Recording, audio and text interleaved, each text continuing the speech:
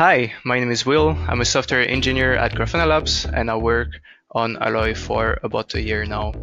And we got a question in the YouTube comments about how to send metrics to Grafana Alloy. So in this video, I will show a little demo on how to collect Prometheus metrics and send them to Grafana Cloud using Alloy. Yeah. For this, I have a little app which is exporting some Prometheus metrics uh, in a Docker container. And here I have my Alloy config that I already prepared a little bit. And we'll make use of a new feature called live debugging to edit this config. So for now, there are only three Prometheus component. There is the Prometheus scrape component, which is collecting the metrics from our target. These metrics are collected every three seconds and are forwarded to another component called the Prometheus relabel. This component is used to edit the set of labels attached to the metrics. In our case here, there is no rules attached to our Prometheus relabel component, so it's only forwarding the metrics directly to Prometheus remote write. So right now it's acting only like a pass-through component. And our Prometheus remote write is sending our metrics to Grafana Cloud uh, using some basic auth to pass the credentials. And finally, we have this little block, which is uh, enabling the live debugging feature. This feature will help us to build the rules for the Prometheus relabel. So before I run uh, this config, I will do a little trick, is that I will break the pipeline actually. So I don't want the Prometheus relabel component to send the, my metrics to the remote write directly because I want first to be able to shape the um, uh, labels the way I want before they are stored to uh, my database. So let's run this.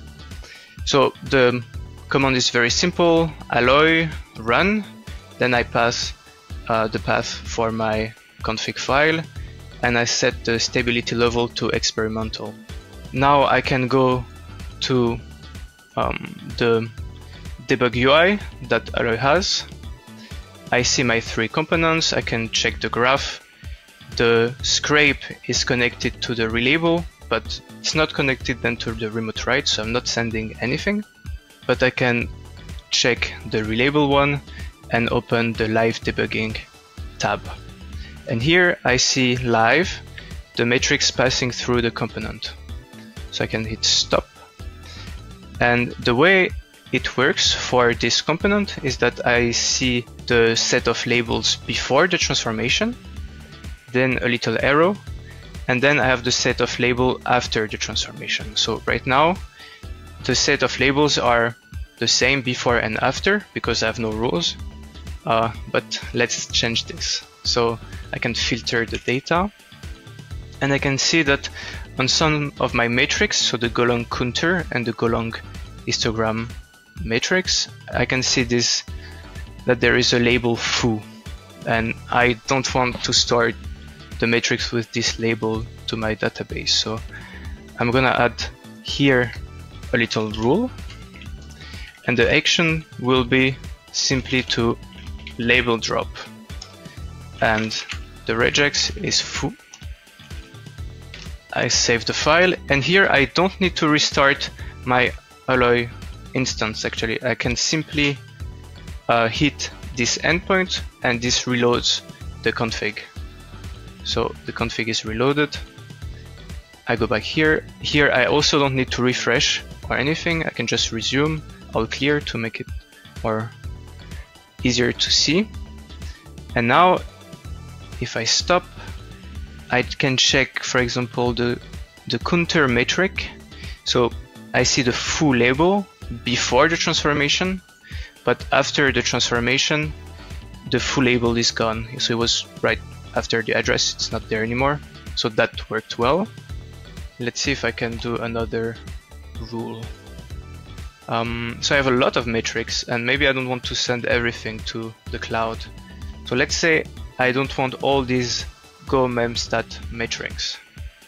So here I'm gonna add a new rule. And the way this component works is that if a metric has no label after the transformation, then it's filtered out. So I can do this by using the drop keyword for the action. The regex is go memstat.